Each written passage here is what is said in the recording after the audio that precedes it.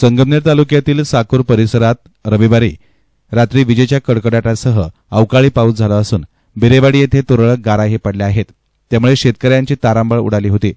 तर गहू हरभरा कांदे या पिकांना या अवकाळी पावसाचा चांगलाच फटका बसणार आहे. गेल्या दोन ते तीन दिवसांपासून पठार भागासह तालुक्यात ढगाळ वातावरण निर्माण झालं होतं. त्यातच रविवारी रात्री साकूर परिसरात विजांच्या कडकडाटासह अवकाळी पावसाला सुरुवात झाली. जवळपास पंधरा ते वीस मिनिटं हा पाऊस झाला. यानंतर बिरेवाडी परिसरातही अवकाळी पावसासह तुरळक गारा पडल्या. शेतकऱ्यांची यावेळी चांगलीच तारांबळ उडाली होती. थोड्याफार प्रमाणात शेतांमध्ये पाणीही साचलं होतं. सध्या शेतकऱ्यांचे गहू हरभरा कांदे काढण्याचे काम सुरू आहे. त्यातच अवकाळी पावसासह तुरळक गाराही पडल्यानं याचा मोठा फटका पिकांना बसणार आहे.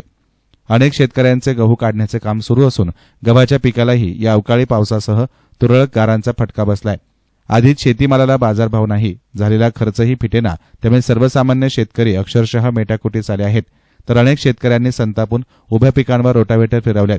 त्यातच आता दिवसा ऊन आणि रात्री विजेच्या कडकडाटासह अवकाळी पावसासह तुरळक गाराही पडल्यानं शेतकऱ्यांवर आता डोक्याला हात लावण्याची वेळ आली आहे.